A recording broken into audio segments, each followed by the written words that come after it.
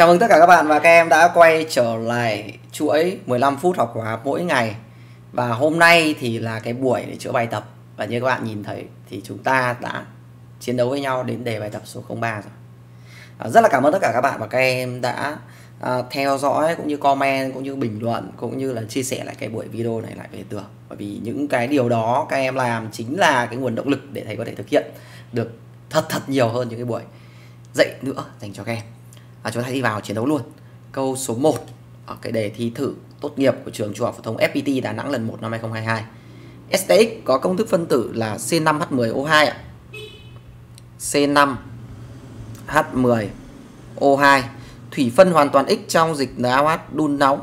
NaOH đun nóng. Thì mình thu được 5,76 gam một muối carboxylat RCOO Na và 2,76 gam ancol là R phẩy OH đúng không? Thế thì ở đây này ở đề bài chỉ cho chúng ta là 5,76 gam muối. Đấy 5,76 gam muối và 2,76 gam ancol mà không nói gì thêm. Thế vậy thì bây giờ chúng ta phải để ý này. Do anh này là este đơn chức nên số mol của este nó sẽ bằng với lại số mol của NaOH hay nói cách khác là nếu chúng ta đặt số mol của NaOH là A thì số mol của este cũng là A. Vậy thì câu chuyện ở đây của chúng ta bây giờ chúng ta đi bảo toàn khối lượng. Thì mình sẽ có là khối lượng của este. Khối lượng của este, phân tử khối này là 102. 102A cộng với khối lượng của NaOH là 40A thì bằng khối lượng của RCONA biết rồi đây 5,76 cộng với khối lượng của ancol 2,76 và tới đây chúng ta sẽ tìm được A. Suy ra A bằng. Đấy, hoàn toàn chúng ta tìm được A. 5,76 cộng 2,76 bằng chia cho 102 cộng 40 bằng 0,06 mol. A bằng 0,06 mol. Đấy. Vậy thì với A bằng 0,06 thì ngay lập tức mình sẽ tìm được phân tử khối của ancol R phẩy OH sẽ bằng là 2,76 chia cho 0,06 thì bằng 2,76 chia 0,06 bằng 46. Ủa ơi. Thôi 46 thì suy ra luôn nó là ancol là CH5OH còn gì nữa đúng không? Đỡ phải làm lằng nhằng. Và suy được được ancol thì chắc chắn rằng x của chúng ta nó sẽ là gì ạ? COO này, C2H5 này. Mà đầu của nó là đầu C5, C5 trừ đi 3 carbon vậy nó còn là C2. CH5 COO CH5 đáp án đúng của chúng ta nó là etin propionat đáp án đúng là đáp án D. Etin propionat dễ quá nhỉ? nhìn một câu này tưởng là khó nhưng thực ra lại dễ không tưởng. Câu số 2 ạ. Thủy phân hoàn toàn m gam phenyl acetat. Phenyl acetat CH3 COO C6 H5 phenyl acetat.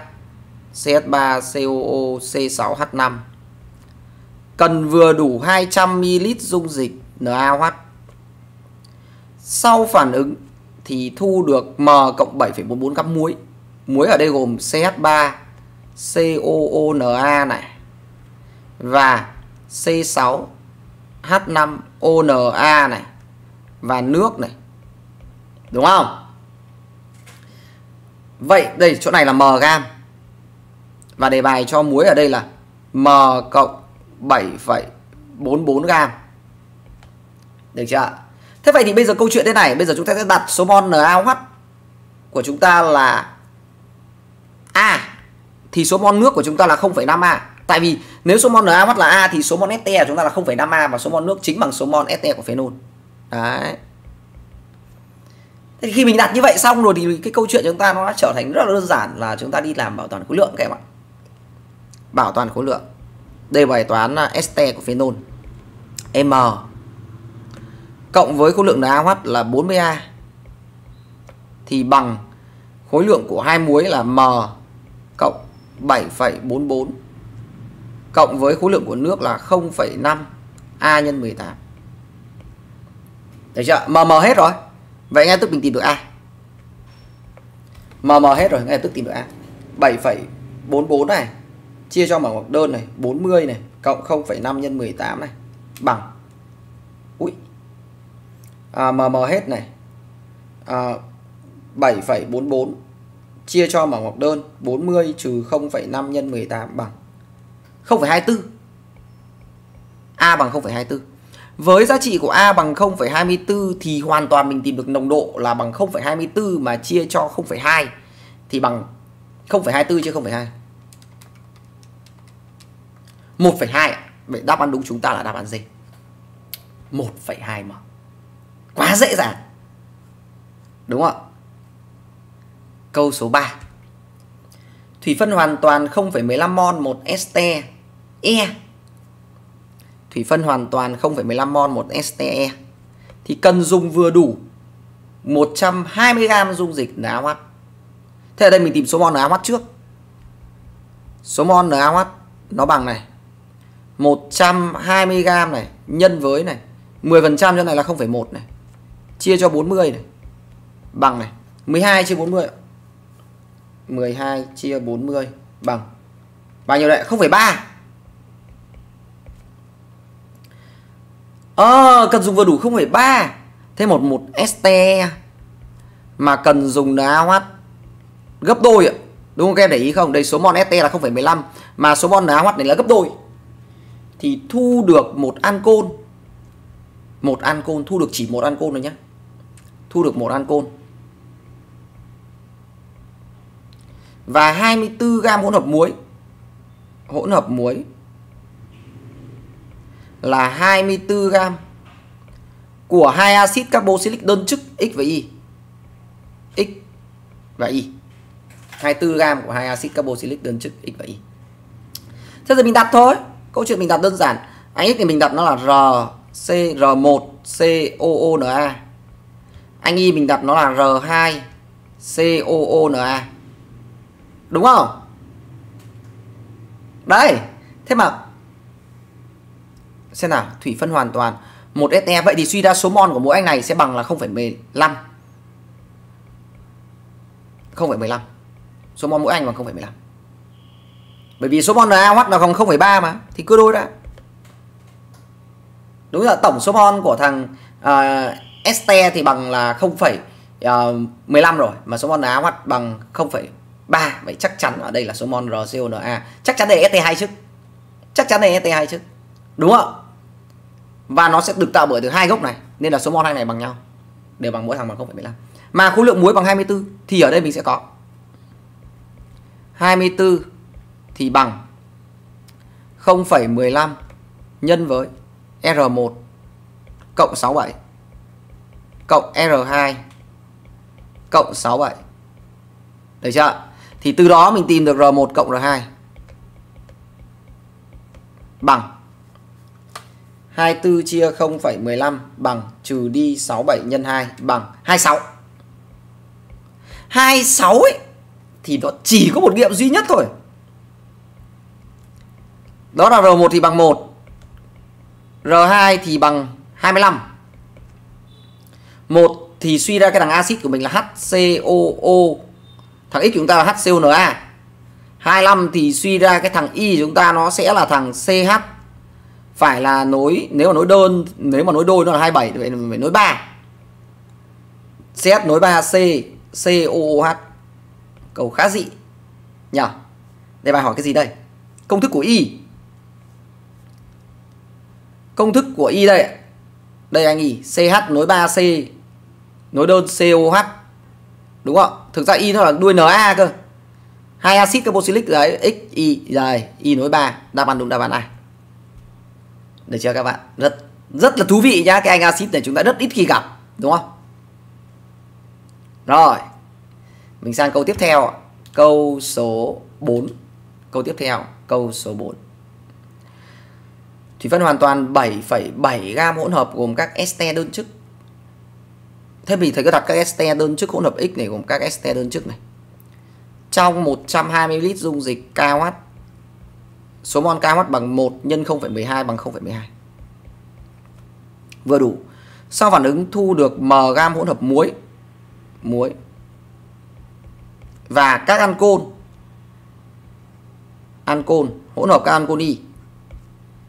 Đốt cháy hoàn toàn hỗn hợp Y thì cần dùng 0,08 mol oxy. Oxy này. 0,08 mol này.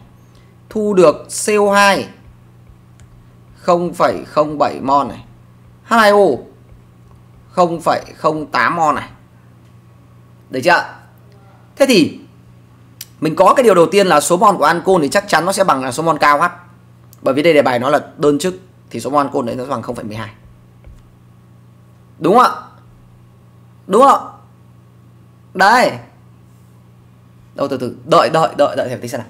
À, thủy phân hoàn toàn ancol thì số mol chưa chưa chưa chắc số mol ancol đã bằng số mol cao H. Ở đây là thủy phân hoàn toàn 7, este đơn chức thu được cao H phản ứng vừa đủ thu được mg muối amon hỗn hợp của ancol đốt cháy hoàn toàn y thế thì thì từ từ ở đây mình bảo toàn khối lượng mình tìm được khối lượng của y đã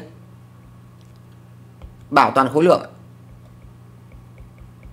Thì mình có khối lượng của y. Nó sẽ chính bằng là khối lượng của CO2 cộng với khối lượng của nước. Trừ đi khối lượng của O2 và nó bằng. 0,07 nhân 44 cộng 0,08 nhân 18 trừ đi 0,08 nhân 32 bằng 1,96. Đấy. Khối lượng anh y bằng 1,96. Thứ hai bây giờ mình sẽ đi bảo toàn nguyên tử nguyên tố oxy. Bởi vì ở đây là ancol, este đơn chức nên ancol này cũng là đơn chức. Nên bảo toàn nguyên tử nguyên tố oxy. Thì mình sẽ có là số bon của ancol y nó bằng 0,07 nhân 2 cộng với 0,08 nhân 1 trừ đi 0,08 nhân 2 bằng 0,07 nhân 2 cộng 0,08 nhân 1 trừ 0,08 nhân 2 bằng 0,06. Vậy thì tới đây chúng ta sẽ tìm được phân tử khối. Đúng không ạ? Số mol của thằng Y là 0,06. Vậy mình sẽ thấy rằng là anh K hoắt gấp đôi nhi. Vậy điều này chứng tỏ rằng là chắc chắn 100% Nhá, chắc chắn 100% cái anh cao hoắt này của chúng ta nó phải là gì? Trong này nó phải có este của phenol. Đúng không? Trong này bắt buộc phải có este của phenol. Nên kiểu gì cũng có nước. Đúng không? Nếu hỗn hợp mà. Thế thì este của phenol thì khi mà nó tác dụng thì x này sẽ gồm có este của ancol và este của phenol. Thế thì este của ancol thì số mol nó chính bằng số mol ancol 0,06. Thì 0,06 thì nó chỉ ăn với 0,06 mol KH thôi. Vậy là còn tận 0,06 mol KH ăn với ST của phenol. Đúng không ạ? Vậy thì 0,06 mol KH ăn ST của phenol thì ngay lập tức mình tìm được số mol của phenol bằng 0,03. Và từ đó mình suy ra số mol nước chính bằng số mol ST phenol bằng 0,03 và đề bài hỏi chúng ta là mờ muối thì câu chuyện chúng ta bây giờ mình đi bảo toàn khối lượng đề bài cho khối lượng của x bằng 7,7 cộng khối lượng cao h là 0,12 nhân 56 thì bằng m muối cộng m nước là 0,03 nhân 18 vậy tới đây mình tìm được m muối bằng 7,7 cộng 0,12 nhân 56 trừ 0,03 nhân 18 bằng 13,88. Ô, chết. À, xem thầy còn thiếu cái gì nhỉ? À, còn trừ m ăn côn. M ăn côn, M ăn côn vừa tìm được 1,96. Quên đấy. Trừ 1,96 11,92. Vậy đáp án đúng chúng ta là đáp án B. 11,92 gam Đấy, một câu về este của phenol khá là hay. Ui rồi nhìn câu 5 này chán đời luôn các em nhỉ Nhìn câu 5 này toàn thực sự Nhìn câu 5 này toàn thực sự Thế nhưng mà câu 5 này thực sự ra nó không quá khó Thực sự ra nó không quá khó. Trong số tất cả những câu từ trước đến nay thầy đều giải chi tiết cho chúng ta rồi. Nhưng ở câu 5 này thầy muốn chúng ta phải tự lực thử làm. Bây giờ thầy sẽ hướng dẫn cho chúng ta Gợi ý chúng ta bằng cách này. Ở đây chúng ta sẽ nhìn thấy có một điều rằng là đốt cháy hoàn toàn 3 este này đều mạch hở chỉ chứa este trong đó y và z có cùng số nguyên tử carbon. Số mol của y nhỏ z bằng lượng oxy vừa đủ thu được CO2 nước mặt khác. Đây trong NaOH đây mình tìm được số mol NaOH bằng 0,24 thì mình sẽ luôn luôn có là số mol của ancol thì luôn bằng số mol của NaOH và bằng 0,24 mol. Được chưa? Ok chưa? Hai ancol kế tiếp hiệu suất este hóa của mỗi ancol. Đây thu được 5,3 này hỗn hợp 3 ancol hiệu suất este hóa của mỗi ancol đều 80%. À thế vậy thì mình sẽ suy ra được số mol ancol phản ứng trong phản ứng este. Số mol ancol phản ứng trong ete hóa. Nó có 80% thôi nên nó sẽ bằng là 0,24 nhân với 0,8 0,24 nhân 0,8 bằng 0,192 0,192 mol. Thì mình sẽ suy ra được số mol ete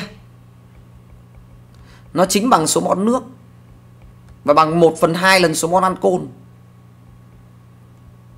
phản ứng. Bằng 0,192 chia 2 bằng 0,096 0,096 à? Vậy hoàn toàn đây mình có bảo toàn khối lượng. Thì mình có khối lượng của ancol thì luôn bằng khối lượng của ete cộng với lại khối lượng của nước. Đúng không ạ? Vậy mình có này khối lượng của ET. Đề bài đây cho này 5,088 cộng với lại khối lượng của nước ở đây là 0,096 nhân 18 bằng nhân 18 cộng 5,088 bằng 6,816 6,816 gam. Thế thì ngay lập tức từ đó mình sẽ tìm được phân tử khối của ancol. Nó sẽ bằng là 6,816 chia số mol của ancol là 0,24. chia cho 0,24 bằng 28,4. Ủa? 28,4 6,816 mà chia cho 6,816 mà chia cho 0,24 bằng À, thầy nhầm. Đây là phải chia cho số mol ancol phản ứng. Là chỗ này chia cho 0,192 ạ. Toàn toàn toàn. 6,816 chia cho 0,192 35,5 35,5 Thế là mình suy được luôn 35,5 này thì chắc chắn một ancol nó phải là CS3W và một ancol còn lại nó sẽ là C2H5OH Đặt anh này là X, đặt anh này là Y. Mình sẽ có hệ phương trình. X cộng Y bằng 0,192 32x cộng với 46y thì bằng 6,816 1 bằng 1 bằng 0,192 bằng 32 bằng 46 bằng 6,816 bằng. X bằng 0, ô sao lẻ nhỉ? À, khối lượng là 6,816 đúng rồi. Số mol là 0,192 thì nhìn lại xem 1 cộng 1 cộng 1 bằng 0,192 rồi 0,192 mà. 2 là 32x cộng 46y bằng 6,816 6,816 đúng À không bây giờ thì đi tìm số mol ancol ban đầu đi Số mol ancol ban đầu đi Ancol ban đầu bây giờ mình biết được là một thằng là C3 từ từ để thầy nhìn lại đã hiệu suất S này. À đây đây đây đây đây. Ra được x đã, ra được x ra được y đã. X bằng bao nhiêu đấy? 0,144. Y bằng 0,048. Mà hiệu suất phản ứng ET hóa nó là 80% nên mình sẽ tìm được số mol ancol ban đầu. 0,144 mà chia cho 0,8. 0,18 ban đầu đấy. 0,048 mà chia 18 là chia cho 0,8 tiếp. 0,06 0,18 và 0,06 đây là số mol cả hai hỗn hợp ancol ban đầu thế là mình xét lại trong A của chúng ta này mình nhìn lại trong A của chúng ta thì mình sẽ có đốt cháy hoàn toàn A Iz Z.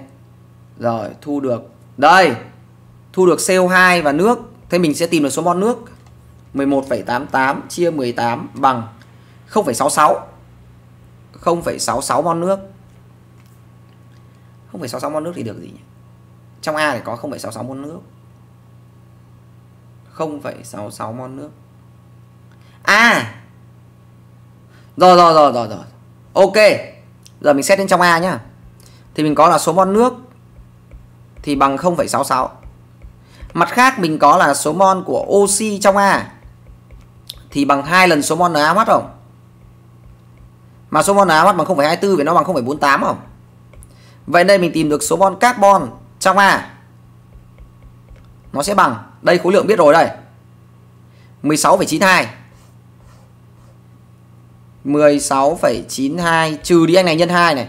0,66 nhân 2 này trừ đi anh oxy nhân 16 này 0,48 nhân 16 này được bao nhiêu chia cho 12 này? Bằng 16,92 trừ 0,66 nhân 2 trừ 0,48 nhân 16 bằng. Chia 12 bằng. Ôi mày quá 0,66 0,66 Vậy mình sẽ nhìn thấy là đốt A mình sẽ cho ra được số mol CO2 bằng số mol nước. Nên chắc chắn A của chúng ta là các ethanol đơn chức. Đúng không? Mặt khác mình có số carbon nó bằng là 0,66 chia cho 0,24 bởi vì là ethanol đơn chức thì số mol ancol bằng số mol ete. Chia cho 0,24 bằng 2,75. Trung bình rồi.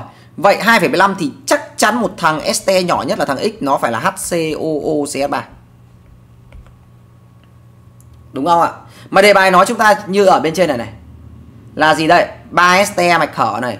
IZ đây chúng ta lưu ý, đề bài nói là Y và Z có cùng số nguyên tử carbon. Để có hai ST cùng carbon. Trong khi các côn lại hơn kém nhau một carbon. Nên các muối phải hơn kém nhau bắt buộc là một carbon. Đúng không ạ? Thế thì các muối hơn kém nhau bắt buộc một carbon thì anh này nó sẽ sinh ra anh muối là muối anh này nó sinh ra anh muối là muối HCOONA rồi nên chắc chắn anh muối còn lại phải là CS3, CO nữa, đúng không? Đấy. Thế thì ngay lập tức thì hỗn hợp muối của chúng ta đâu rồi? Mình có khối lượng muối đâu rồi? À, từ nãy giờ mình toàn tìm ăn côn. À, vừa đủ dung dịch này thu được hỗn hợp B gồm hai muối. Đấy hai muối thôi. Han côn. Đấy. Thế thì ở đây mình đã có hai cái muối này của mình là HCONA và CH3CONA rồi. Một thằng bây giờ mình cần tìm số mol của này. Thì mình có rằng là đề bài là cho chúng ta là đây số mol của este này nó chính là tổng số mol của ancol 0,24 à của axit 0,24 rồi. Đúng không ạ? Xem nào đọc tiếp đốt cháy hoàn toàn số mol của y nhỏ số mol z mặt khác đun a trong đá mắt hai hỗn hợp hai ancol đồng đẳng kế tiếp. Đun nóng đốt cháy hoàn toàn. YZ có cùng số nguyên tử carbon số mol của Y nhỏ số mol của Z. Lượng oxy vừa đủ thu được số mol CO2 bằng số mol nước. Đun nóng NaOH 0,24 vừa đủ cô cạn dung dịch sau phản ứng thu được hỗn hợp của muối và ancol đây! Mình có tổng số mol của bọn này bằng 0,24 đúng không ạ? Đặt anh này là x anh này là y được chưa? Thế thứ hai phương trình số 2 là phương trình bảo toàn khối lượng muối. Mình sẽ có là x cộng y bằng 0,24 và phương trình thứ hai là phương trình bảo toàn khối lượng của muối thì mình sẽ có là khối lượng của muối là 68x cộng với lại 82y thì bằng khối lượng của ancol khối lượng ancol biết rồi. Đâu rồi? Khối lượng ancol đây. 6,816 khối lượng của este đâu? Đây 16,92 16,92 cộng khối lượng của NaOH NaOH đầu Đây 0,24 nhân 40 Trừ đi khối lượng của ancol. Khối lượng ancol vừa tìm được là bằng 6,816 À không phải ở bên trên cơ Khối lượng ancol đây. À khối lượng ancol đây đây đây đây đây cộng tổng hàng này lại. 0,18 nhân 32 cộng 0,06 nhân 46 bằng. 8,52. Và đến đây mình tìm x đi. 1 bằng 1 bằng 0,24 bằng 68 bằng 82 bằng 16,92 cộng 0,24 nhân 40 trừ 8,52 bằng. Rồi. Ô chết rồi sao lẻ nhỉ? 16,6882 này. Khối lượng của 16,92 cộng với khối lượng của NaOH là 0,24 nhân 40 trừ đi han cô đồng đẳng kế tiếp đây rồi. Trừ đi mỏng ngoặc đơn này. 6,816 chia 0,8 bằng.